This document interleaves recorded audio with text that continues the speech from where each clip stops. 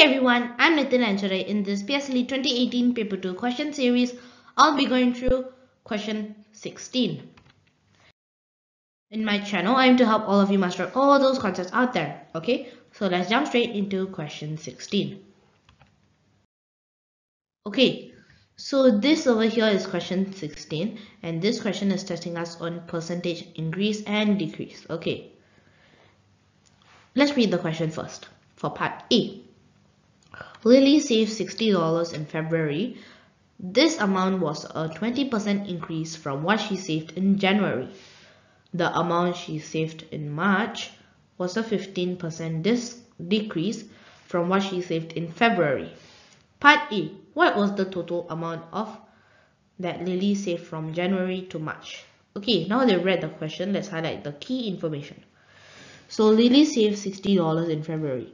So this amount was a 20% increase from what she saved in January. Okay. After that, the amount she saved in March was a 15% decrease from what she saved in February. Part A. What was the total amount that Lily saved from January to March? Okay.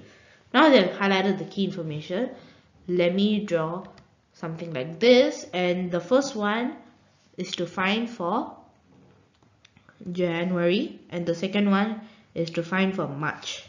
Okay? So let's find for January first.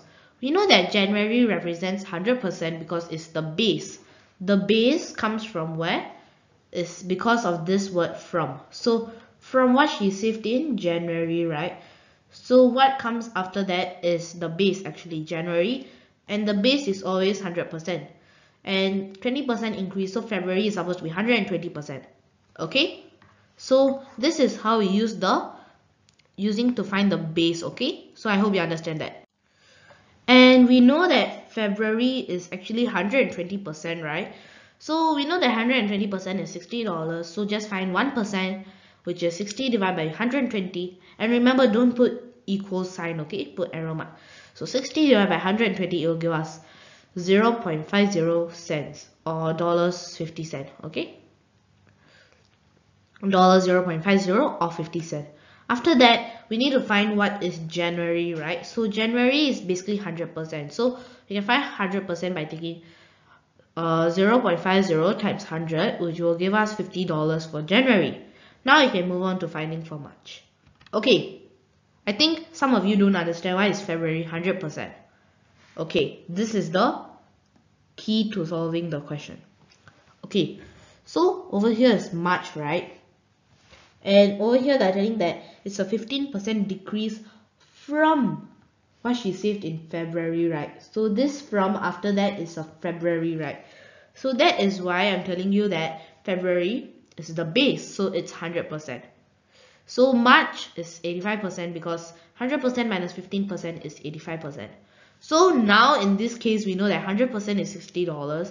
So if I $1 which is 60 divided by 100 it will give us 60 cents or dollar 0.60 and then we should find 85% to find for March. So it will give us 60 cents times 85 which is $51 for March. Okay, Part A, the total amount for January to March. So we need to add January, February and March.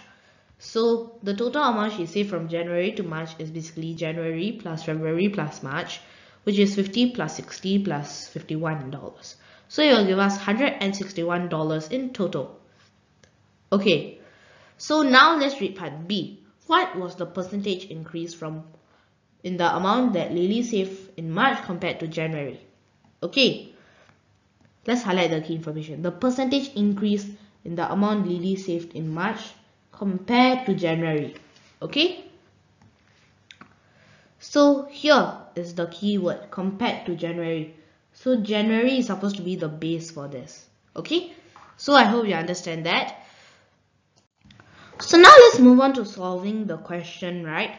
So compared to January, so first I'm going to find the difference because in order to find the percentage decrease, increase, we need to find the difference. So I'm going to take $51 minus $50, okay? So it will give me $1. and the base is supposed to be January right so I'm going to take the base as $50 okay so the percentage increase compared to January right is supposed to be actually 1 over 50 times 100% okay?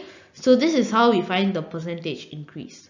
And it will give us 2% for part B. Okay? So the percentage increase for this question uh, for part B it is 2% okay? So I hope you understand my explanation for question 16 part A and B. And thank you and bye bye I'll see you in my next video. Bye